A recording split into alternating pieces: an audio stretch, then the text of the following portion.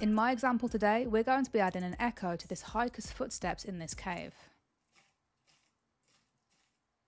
Now to do this, I need to go up to Audio Track Mixer. I can do this by going up to Window, going down to Audio Track Mixer and selecting the sequence I'm currently in. Once I'm in here, I want to toggle onto this little arrow right here. I then need to come down to Reverb and then select Studio Reverb. We then need to double click into the Studio Reverb settings. Within here, I'm going to customize the room size, the decay, and the early reflections. The higher these numbers are, the more intense your echo will be. You can play back your audio while you're testing out different parameters. For this example, I'm going to leave mine as that. I'm going to click out of here.